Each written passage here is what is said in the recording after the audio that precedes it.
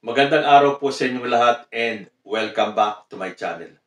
Nasa Pilipinas na nga po ba ang ICC at tapos na daw ang kanilang investigasyon at malapit na nga bang isyuwan ng warrant of arrest si Digong at yung kanyang mga kasabwat. Kaya nga daw itong si Senator De La Rosa ay hinahamon si President Marcos na magpakalalaki. Pero bago po yan, kung kayo po ay bago sa aking channel, please hit on the subscribe button below pati na po yung notification bell para kayo po ay updated sa mga videos na aking i-upload. Earlier this month po, naglabas si Sani Trillanes ng pahayag tungkol sa ICC. Sabi po dito sa People's Taliba, Trillanes naniniwala na ICC tapos nang mag-imbestiga sa madugong drug war ni Duterte. Naniniwala si dating Senator Antonio Sani Trillanes na tapos nang mag-imbestiga ang International Criminal Court sa kinakaharap na crimes against humanity charge ni dating Pangulong Rodrigo Roa Duterte kaugnay ng kanyang madugong war on drugs. Sinabi ni Trillanes na maaaring pumasok sa bansa ang mga investigador ng ICC ng palihim dahil hindi naman sila pinagbabawalan na pumasok sa Pilipinas o kailangan pang humingi ng pahintulot sa gobyerno. Si Trillanes po kasi ang isa sa mga unang naghain ng kaso sa ICC laban kay Duterte. Sabi po niya, ang tansya ko, ang aking educated guess ay tapos na sila sa kanilang investigation sa crimes against humanity. Ang aking educated guess ay natapos na ang kanilang investigation sa mga pangunahing akusado nagawa na nila yung kanilang dapat gawin sa bansa. Ang aking tansya ay finishing touches na yung kaso for some of the principals. Yung iba naman, yung mga nasa secondary level ay binibuild up na o patapos na. Ipinunto ni Trillanes na ang mga misyon ng ICC investigator ay highly confidential at posible na tapos nang mag-imbestiga ang mga ito. Ayon kay Trillanes, maaaring nakuha na ng ICC ang testimonya ng self-confessed hitman na si Arturo Las Cañas, ang dating polis na umano'y miyembro ng Davao Death Squad ni Duterte. As far as Las Cañas and the other witnesses are concerned, sa aking educated guess, lahat sila ay tapos na yon ipinunto ni Trillanes na nagsimulang mangalap ng testimonya ng mga testigo ang ICC noon pang February 2023 at ngayon ay nasa proseso na ito ng pagbuo ng kaso laban kay Duterte at kanyang mga kasabwat. Although alam naman po natin na wala ng jurisdiction ang ICC sa Pilipinas, pero ang sinasabi po ni Trillanes, Maliwanag na wala silang jurisdiction doon sa panahon nitong incumbent na administration, specifically mula 2019 noong March up to the present. Wala ng jurisdiction yung ICC.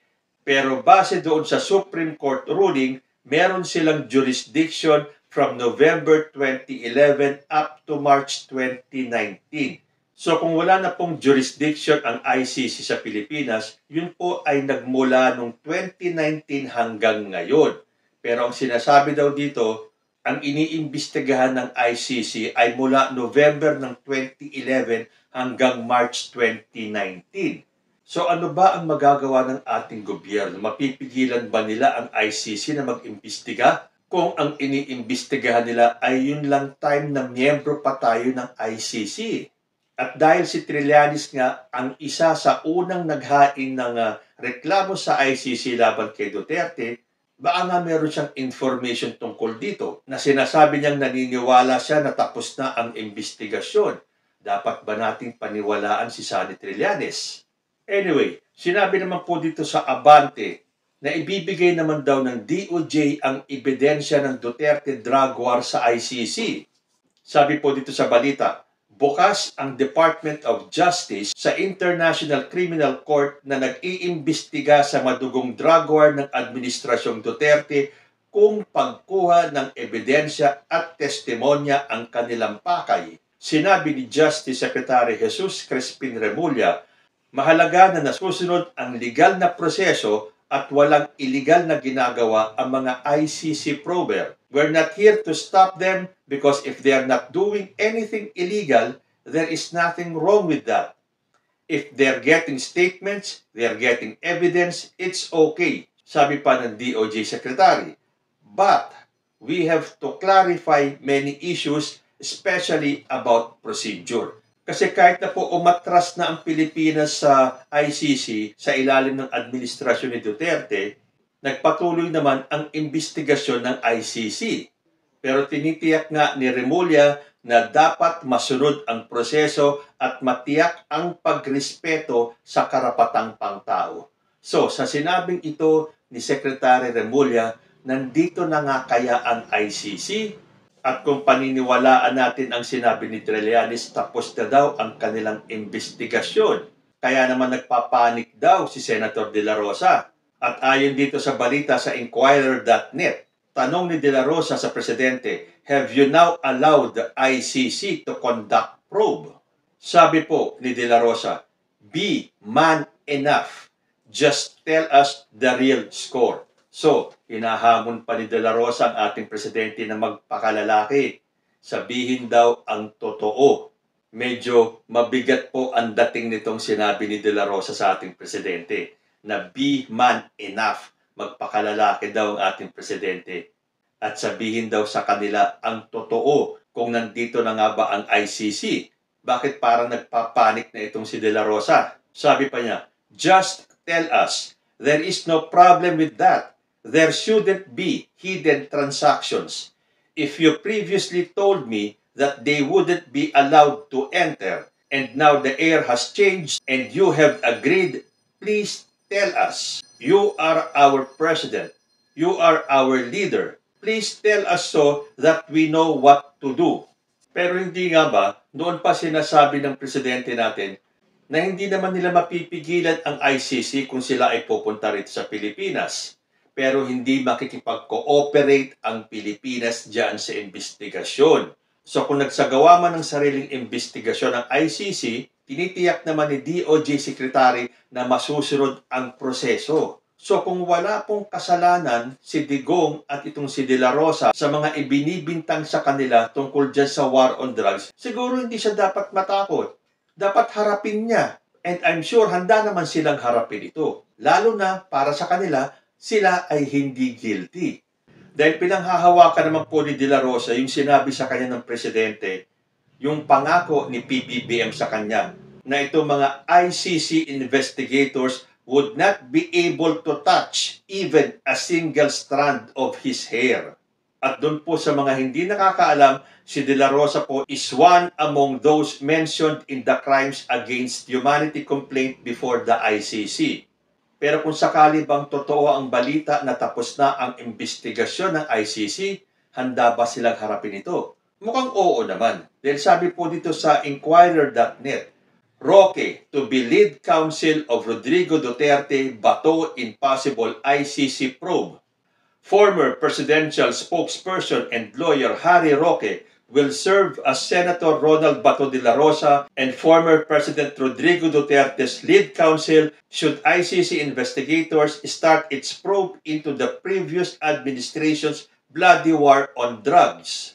Ito po kinumpirma ni De La Rosa nung lunes sa isang press conference na si Harry Roque nga daw ang magiging lead counsel nila ni President Duterte. Si Harry Roque ang aming lead counsel.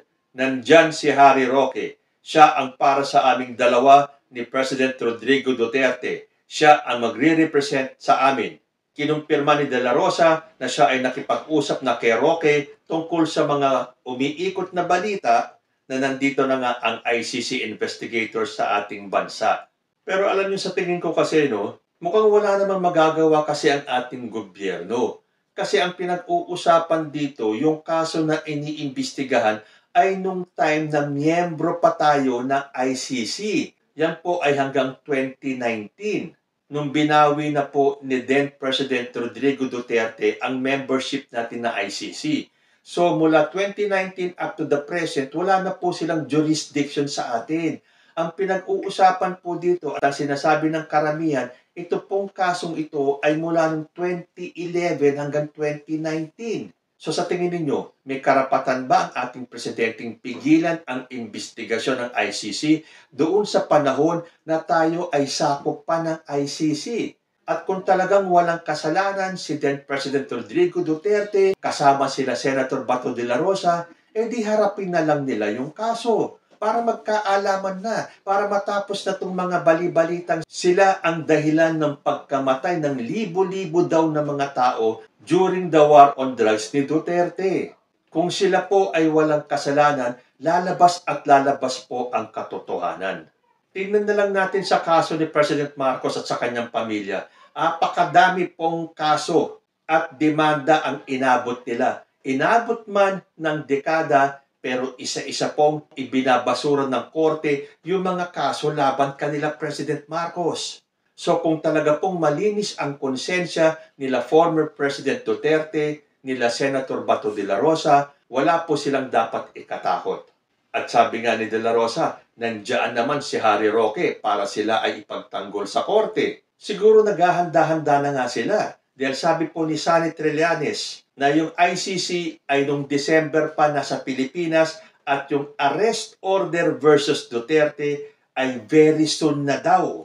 Ayon po dito sa balita sa Inquirer.net, investigators from the ICC were able to gather enough evidence against former President Rodrigo Duterte when they visited the country in December and a warrant of arrest may be issued very, very soon. Based on my information, the ICC have done what they needed to do in their initial investigation inside the country as far as the principal accused are concerned. Ito mga impormasyon na to ay galing daw sa inside information ni Sani Trillanes. Kaya ang sabi nga ni Trillanes, what we are waiting for right now is the warrant of arrest which may come very, very soon within the first half of the year. Pero ang sabi naman po ni former spokesperson Harry Roque, no amount of evidence can vest any court with jurisdiction where it has none. The preliminary investigation was authorized long after our withdrawal had come into effect. The court is thus bereft of jurisdiction. Sinabi din ng former Chief Presidential Legal Counsel Salvador Panelo na the ICC has absolutely no jurisdiction. At sinabi pa niyang the Trillanes narratives are pure chismis and fake news. There is no validation from the government that the ICC probers have set foot in the country. Dahil ng mga nakaraang linggo po, hindi nga po masabi ng gobyerno kung nakapasok na ang ICC sa atin. Hindi nga ito makonfirm ng Bureau of Immigration. At sabi pa ni Panelo, even assuming that they are here, they cannot pluck out evidence from nothing. Hearsay and speculations are not evidence. Although si Rocky nga po ang isa sa unang naglabas ng balita na baka nandito na nga daw ang ICC sa Pilipinas at nagko-conduct na ng kanilang investigasyon. Kahit na sinabi ng immigration officials na wala silang such information.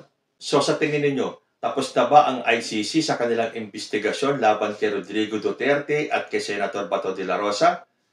At malapit na nga ba talagang ilabas ang kanilang warrant of arrest? Magkaganon man, nakaredy na daw sila Harry Roque para ipagtanggol ang ating dating presidenteng Rodrigo Duterte.